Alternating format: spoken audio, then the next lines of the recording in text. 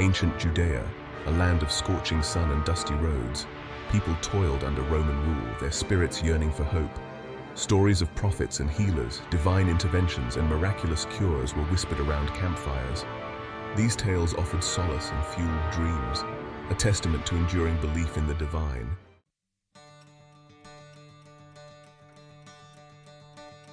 Word began to spread through the bustling marketplaces. Whispers of a man named Jesus, a carpenter from Nazareth, said to possess powers unlike any they had witnessed. He spoke with authority, challenging the religious elite and captivating the hearts of the common people. The blind could see, the lame could walk, and even the dead were brought back to life. These tales of healing spread like wildfire, igniting a fervor in the hearts of the people.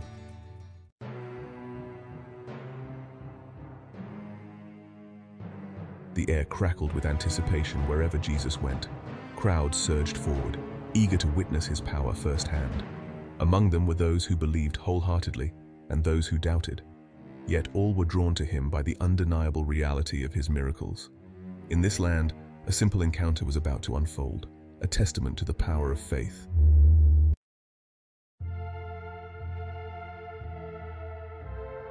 For 12 long years, she had lived in the shadows.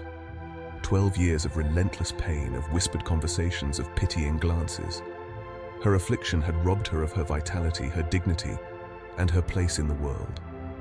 She had sought help from physicians and healers, endured painful treatments, and spent her meager savings on empty promises. But her condition had only worsened, leaving her body weakened and her spirit broken. Yet deep within her weary heart, a tiny ember of faith still flickered.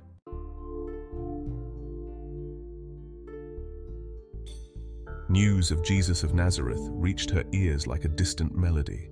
At first, she dismissed it as just another tale, another false hope. But as the stories of his miracles spread, a flicker of hope ignited within her. She clung to these accounts, daring to believe that perhaps, just perhaps, this man could be different. One day, the whisper of hope became a roar when she learned that Jesus would be passing through her town.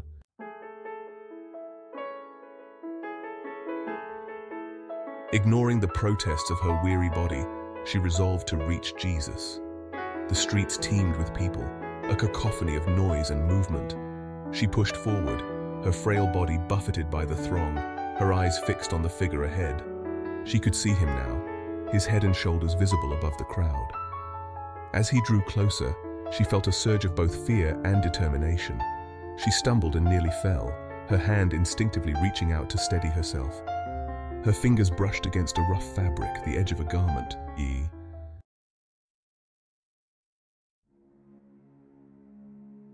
In that instant, a current of power flowed through her. Years of pain, of weakness, of despair seemed to melt away. Her body, so long accustomed to affliction, felt lighter, stronger, renewed. She straightened, her spine no longer bent with pain. Her steps, once hesitant, now felt firm and sure. It was a miracle transforming her from the inside out.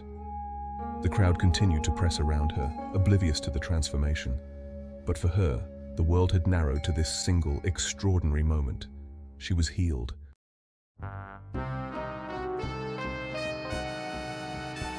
Who touched me? Suddenly, the movement of the crowd stilled.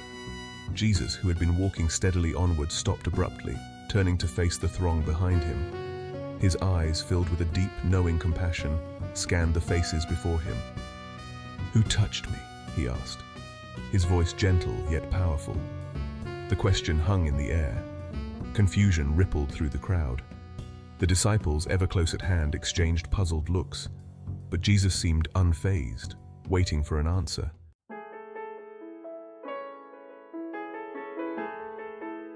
The woman, her heart pounding, realized she could no longer remain silent. With trembling legs, she stepped forward, pushing past the astonished faces. She stood before him, her head bowed, her entire being radiating a mixture of fear and gratitude. It was me, Lord, she whispered, her voice barely audible. For twelve years I have suffered, and I believed that if only I could touch the hem of your garment, I would be healed.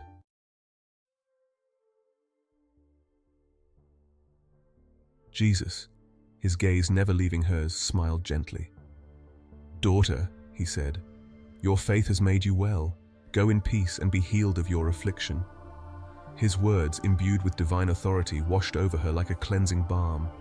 Tears streamed down the woman's face, tears of joy, of relief, of gratitude. She fell to her knees, her body trembling with emotion. Thank you, Lord, she whispered, her voice choked with sobs.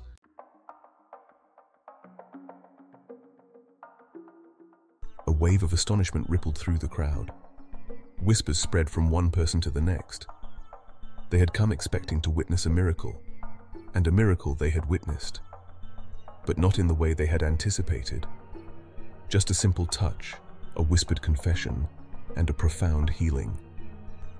Many in the crowd felt a surge of awe and wonder. Perhaps this Jesus was indeed the Messiah, the one they had been waiting for. Others, however, remain skeptical, questioning the woman's story.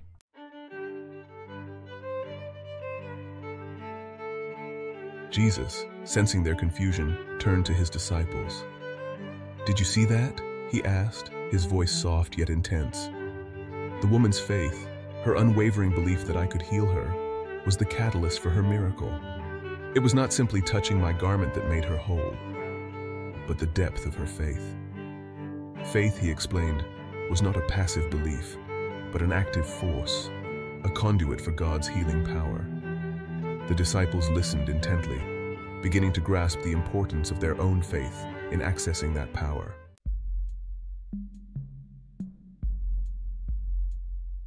Yet even as Jesus spoke, seeds of doubt lingered in the minds of some disciples. Thomas, ever the pragmatist, struggled to reconcile the miracle with his own logical mind. But Master, he interjected, his brow furrowed in thought, surely it was your power that healed her, not just her belief. People touch you all the time, yet not everyone is healed. His question, though tinged with doubt, was not meant as a challenge to Jesus' authority. It stemmed from a genuine desire to understand the nature of faith and its role in the miraculous. Thomas, like many of us, craved tangible proof, evidence that could be seen and touched, to support the intangible realm of faith. Jesus, recognizing the sincerity of Thomas's question, smiled patiently. He understood that faith for some was a journey, not a destination. It was a path often fraught with doubts and questions, a winding road that led ultimately to a deeper understanding of God's love and power. Thomas, Jesus replied gently, placing a hand on his disciple's shoulder, your faith is precious, even when it is laced with doubt. Do not be afraid to question, to seek understanding, for it is in the seeking that you will find the truth.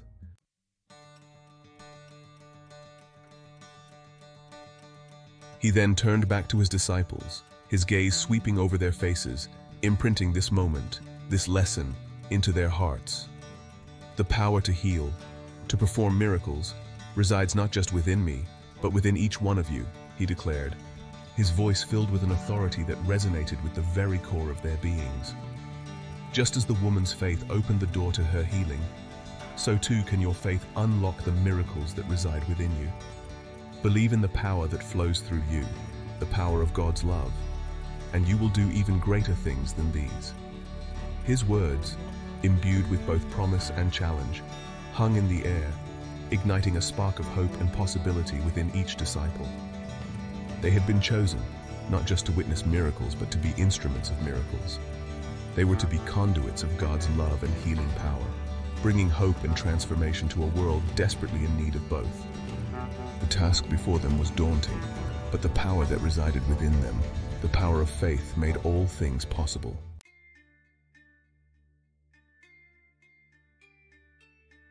The story of the woman healed by a touch of faith is not merely a narrative from ancient texts.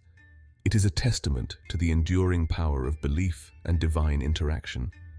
This miraculous event, occurring in the dusty streets of Judea, echoes through the ages, resonating with countless souls grappling with their own tribulations. The healing touch of Jesus serves as a profound reminder that faith, even as small as a mustard seed, holds the potential to initiate vast changes. This miracle is not confined to the past. It continues to speak to us, offering lessons of hope and the transformative power of faith. It encourages us to reach out despite the overwhelming odds, to seek the divine touch in our lives. Each person who hears this tale is invited to reflect on their own journey, their struggles, and the possibility of miracles. The message is clear. Faith can and does alter the course of lives. In contemporary times where skepticism often overshadows belief, the story of the woman's healing stands as a beacon of possibility. It challenges our modern sensibilities, urging us to believe in something beyond the empirical and tangible. It asks us to consider the mysterious, the unexplained, and the miraculous with an open heart and mind. This narrative also teaches us about the communal aspect of miracles. The woman's healing was not a solitary event, but one that impacted all who witnessed it. It stirred the hearts of the crowd, the disciples, and all those who have heard the story since. Her act of faith, simple yet profound, has reverberated through time, inspiring countless others to seek and embrace the power of faith in their lives.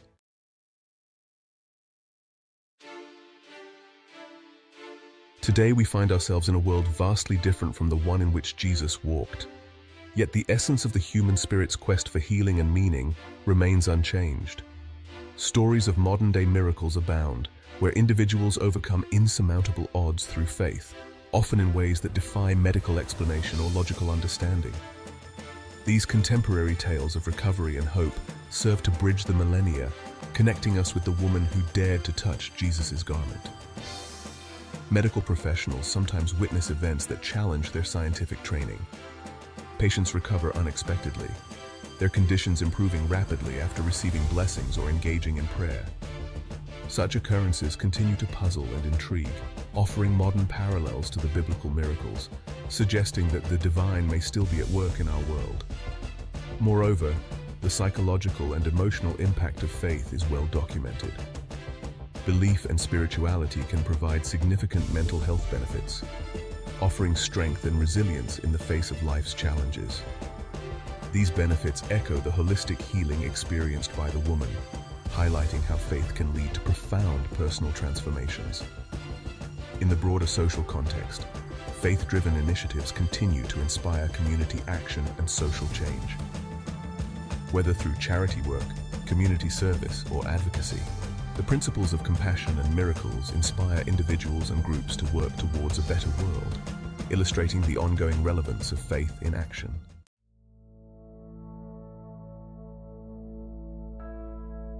The act of reaching out to touch the hem of Jesus' garment symbolizes a fundamental human truth, the intrinsic desire for connection and healing. This gesture teaches us several key lessons. Firstly, it underscores the importance of taking action. Faith, as demonstrated by the woman, is an active, dynamic force that compels us to move, to reach out, and to take risks. Secondly, the story highlights the accessibility of divine love. The woman was not a prominent figure. She was marginalized, suffering, yet her simple act of faith brought forth a powerful response. This teaches us that divine grace is available to all, irrespective of our social standing or past. Additionally, this narrative encourages persistence. Despite numerous setbacks and continual suffering, the woman's persistent faith ultimately led to her healing. Her story motivates us to maintain our faith even when circumstances seem bleak and solutions appear distant. Lastly, the healing at the hem of the garment reveals the interconnectedness of our actions. The woman's healing not only transformed her life, but also touched the lives of the witnesses her story continues to inspire faith and courage across generations, showing how individual acts of faith can ripple outwards, influencing many others.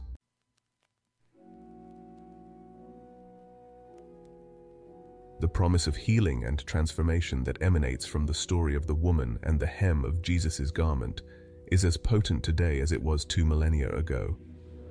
It offers a beacon of hope to those in distress, a reminder that faith, coupled with action, has the power to change outcomes.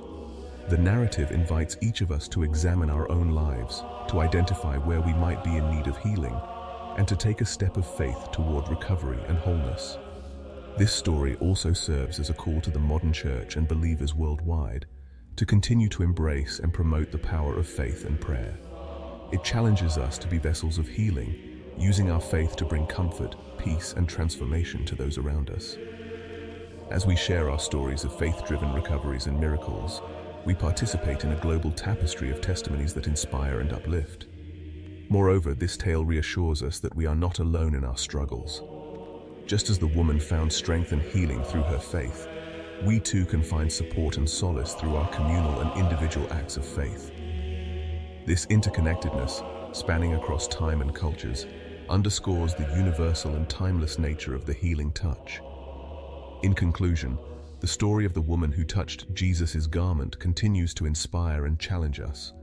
It calls us to a deeper faith, to courageous action, and to a heartfelt belief in the possibilities of healing and renewal. As we carry this story forward, let us do so with open hearts, ready to receive and to extend the healing touch that has changed so many lives.